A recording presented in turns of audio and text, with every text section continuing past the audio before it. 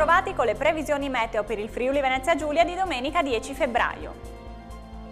Sulle zone montane più interne cielo variabile, dalla costa alle prealpi da cielo nuvoloso a coperto con possibili deboli piogge, specie ad est e al pomeriggio. In serata probabile peggioramento su tutta la regione, con neve oltre gli 800 metri di quota circa e piogge moderate su pianura e costa, specie sulle zone orientali.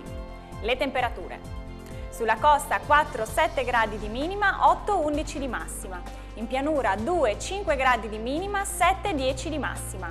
A 1000 metri 2 gradi e a 2000 metri meno 2 gradi. Un arrivederci a tutti e alle previsioni meteo di domani.